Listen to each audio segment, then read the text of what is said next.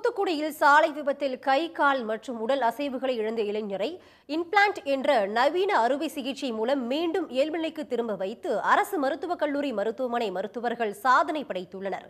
தூத்துக்குடி சோட்டையின் தோப்பு பகுதியை சேர்ந்த கூலி தொழிலாளியான மைதீனுக்கு கடந்த ஜூன் மாதம் நடைபெற்ற ஒரு சாலை விபத்தில் கழுத்து பகுதியில் உள்ள தண்டுவட எலும்பு உடைந்தது.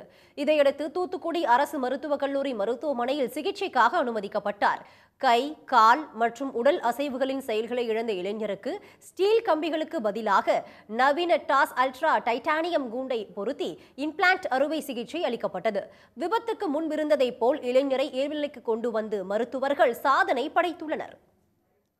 இம்ப்ரூவ்மெண்ட் வந்து எந்த அளவுக்கு இருக்குன்னா தானாக நடந்து போகக்கூடிய அளவுக்கு வந்துட்டாரு. கை கால்கள் வந்து அதுவும் நல்லபடியாக வேலை செய்யுது அவரால் கைகளை வச்சு பொருட்களை பிடிக்க முடியும். இன்னும் தொடர் சிகிச்சை அவருக்கு தேவைப்படுது. பிசியோதெரப்பி தேவைப்படுது. தொடர்ந்து இன்னொரு ஆறு மாதம் எட்டு மாதத்தில் இன்னும் கொஞ்சம் முன்னேற்றம் அடைவார். இதில் விசேஷம் என்னன்னா அந்த இம்ப்ளான்ட் அறுவை சிகிச்சை வந்து தமிழ்நாட்டிலேயே தமிழ்நாட்டிலே அரசு மருத்துவமனைகளில் ஒரு சில அரசு மருத்துவமனைகள்லாம் பண்ணுறாங்க தூத்துக்குடி அரசு மருத்துவமனையில் இது பண்ணுறது இதுதான் முதல் தடவை.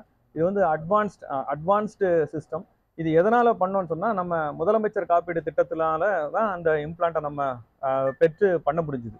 ஸோ அந்த காப்பீடு திட்டம் இருந்ததுனால இவருக்கு வந்து இந்த அட்வான்ஸ்டு கேஜ் சிஸ்டத்தை பொருத்த முடிஞ்சுது. தனியார்லலாம் இந்த அறுவை சிகிச்சை பண்ணீங்கன்னா குறைஞ்சது வந்து ஏழு லட்சத்துலேருந்து பத்து லட்சம் வரைக்கும் செலவாகும்.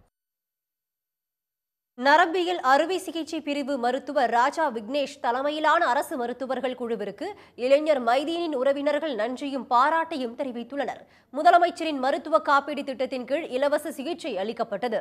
தனியார் மருத்துவமனையில் இதே சிகிச்சை அளிக்க எட்டு லட்சம் ரூபாய் வரை செலவாகி இருக்கும் உடனுக்குடன் செய்திகளை தெரிந்து கொள்ள சன் நியூஸ் பெல் கிளிக் பண்ணுங்க.